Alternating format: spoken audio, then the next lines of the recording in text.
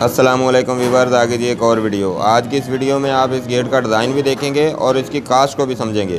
क्योंकि आज मैं प्रैक्टिकल करके आपको सारी चीज़ें बताऊँगा इसमें, चादर कौन सी इस्तेमाल होती है और कितने वज़न में बनती है, पाइप कौन सा इस्तेमाल होता है और कितने में आता है। ये सारी चीज़ें आज आपको, ये सारी चीज़ें अच्छे से एक्सप्लेन करने की कोशिश करूँगा ताकि आप जब भी गेट बनवाएँ तो आपको बिल्कुल आसानी रहे और आप अच्छे से गेट बनवा सकें। तो इसके लिए आप वीडियो को एंड तक देखें। ताकि आपको अच्छे तरीके से समझ आया जाए और एंड में कुछ और भी डिज़ाइन है, वो भी आपको दिखाएँगे। तो चलिए जी, बिना टाइम वेस्ट किए हुए वीडियो शुरू करते हैं। तो सबसे पहले आपको बता दें, ये हरीपुर जा रहा है, हरीपुर हज़ारा।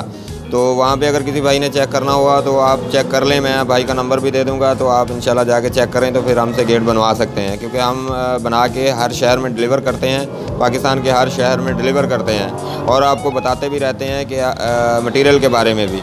तो चलिए अब इसके बात करते हैं जो मटेरियल लगता कितना है और कौन से गेज का कितने वज़न में मटेरियल लगता है। तो पहले आप इसका साइज़ देख लें। साइज़ आप कितने फुट का बनाना चाह रहे हैं। तो ये गेट अगर 10 फुट का बना रहे हैं 10 फुट चौड़ाई में और 7 फुट ऊंचाई में तो उसको आप ज़रब देंगे 10 को 7 से तो आपका फुटाना निकल आएगा 70 फुट। जब 70 फुट फुटाना निकल आया तो उसको आप ज़रब देंगे एक किलो 500 ग्राम के हिसाब से 16 गेज वाली चादर। 16 गेज वाली चादर एक किलो 500 ग्राम आती है एक फुट में तो उसका वज़न आ जाएगा 105 किलो। तो 105 किलो को आप ज़रब देंगे दो सौ क्योंकि ये रेट चल रहा है चादर का जिसती चादर जो होती है, वो उसका रेट, चादर का रेट दो सौ फ़ी किलो है तो उस हिसाब से चादर आपकी बन जाएगी अट्ठाईस हज़ार की। तो अट्ठाईस हज़ार की इसमें चादर ऐड हो गई तो बाकी आप इसके फ्रेम के बारे में बात करते हैं। फ्रेम इसका चौदह गेज का लगाते हैं, डेढ़ इंची तरफ़ डेढ़ इंची का, और साइड पे इसके तीन डेढ़ का पाइप लगाते हैं। ये आप देख सकते हैं, साइड पे तीन डेढ़ का चौड़ा पाइप लगा हुआ है, बाकी डेढ़ डेढ़ का फ्रेम होता है सारा। ये लॉक वगैरह तो अलग से होते हैं, खैर। तो फ्रेम इसका जी आप पाइप की बात करते हैं, क्योंकि 20 फुट की एक लेंथ होती है इसकी, जब पाइप परचेज़ करते हैं तो 20 फुट की लेंथ के हिसाब से होता है, चार हज़ार की एक लेंथ होती है। तो ये आपकी ढाई लेंथें लगेंगी, क्योंकि 10 और दस, बीस बीस फुट एक हो गया, बाकी सात, चौदह चौदह, अट्ठाईस। मतलब ढाई लेंथें आपकी लगेंगी तो ये चार हज़ार के हिसाब से बन गई दस हज़ार की ये। बाकी जो इसमें अलदरात वगैरह लगते हैं, कुंडे, कब्ज़े और बैरे वगैरह लगते हैं तो उसका ख़र्चा दस हज़ार आ जाता है। तो क्योंकि चार तो इसको बैरे लगते हैं, एक हज़ार का बैरा बनता है वो, मज़बूत वाला बैरा बनाते हैं, चार हज़ार के वही बन गए, बाकी इसके हैंडल वगैरह लगते हैं और अलदराज वगैरह लगते हैं तो इस हिसाब से ये दस हज़ार का खर्चा मस्ट आ जाता है जी इस पर तो ये दस हज़ार ये हो गया, दस हज़ार का पाइप हो गया, अट्ठाईस हज़ार की चादर हो गई। अब रह गई हमारी लेबर, क्योंकि लेबर में वेल्डिंग, शेल्डिंग का खर्चा होता है और कारीगर की दिहाड़ियाँ वगैरह भी होती हैं। दो से तीन दिन लग जाते हैं इस गेट को बनाते हुए। तो ये हम मुनासब से लेबर रखते हैं, ये एक सौ पचास रुपये फुट के हिसाब से ये बनता है जो दस हज़ार पाँच सौ।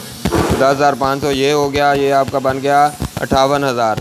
बाकी रंग का खर्चा होता है, सिर्फ़ जो क्वार्टर आते हैं, उसी का खर्चा लेते हैं, हज़ार रुपये वो हो जाता है तो ये बन गया तकरीबन उनसठ हज़ार पाँच सौ। मतलब साठ हज़ार का ये सादा अगर गेट बनाते हैं, बगैर स्टील के तो साठ हज़ार का बनता है। अब इस पर स्टील का खर्चा ऐड करते हैं तो ये सिल्वर की जाली जो आप देख रहे हैं, ये मिलती है जी चार हज़ार की एक जाली। तो दो, अगर आप दस फुट का गेट बना बना रहे हैं तो दो ही जालियाँ लगेंगी इसमें। तो आपकी आठ हज़ार की जालियाँ लग जाएँगी दो। आठ हज़ार की जाली लगे और बाकी ऊपर स्टील का जो पाइप लगा है, ये सीधे सीधे पाइप, क्योंकि ये दूसरा गेट है, इसमें बॉक्स लगा हुआ है साइड पे। तो अगर सीधे पाइप लगाते हैं, जिस तरह मैंने पहले दिखाया है तो वो आठ हज़ार का वो ख़र्चा आ जाता है। मतलब इसका ऊपर भी स्टील के पाइप लगते हैं तो फ्रंट पे भी आप देख सकते हैं, एक इंची ज़रा एक इंची के पाइप लगते हैं। तो ये अठारह हज़ार का खर्चा टोटल बनता है जी। दो हज़ार के नट वगैरह लगा के अठारह हज़ार का खर्चा टोटल इसमें और ऐड हो जाता है। तो ये गेट आपका बन जाता है जी। वो साठ हज़ार का वो था और अठारह हज़ार का ये ख़र्चा तो तकरीबन सत्तर हज़ार सेवेंटी सेवन थाउज़ेंड में ये गेट तैयार हो जाता है और ये अगर फुट के हिसाब से लगाएँ तो ये आपको ग्यारह सौ रुपये पर फुट के हिसाब से बन जाता है ये गेट। और अगर ये बॉक्स वाला लगाएँ तो इसमें पंद्रह हज़ार का और ख़र्चा ऐड होता है। ये जो साइड पे हम, हमने बना के एक भाई को दिया था एबटाबाद के लिए तो ये बॉक्स लगाया था, ये पंद्रह हज़ार का इजाफी से ख़र्चा इसमें और ऐड हो जाता है। वो आपकी मर्ज़ी आप जिस तरह का गेट बनाना चाहें, हम आपको बताते रहते हैं क्योंकि हमने मटेरियल परचेज़ करके हम हमने अपनी लेबर रखनी होती है। जो आप डिज़ाइन कहेंगे, जिस तरह का मटेरियल लगवाना चाहते हैं तो वो मटेरियल लगवा सकते हैं।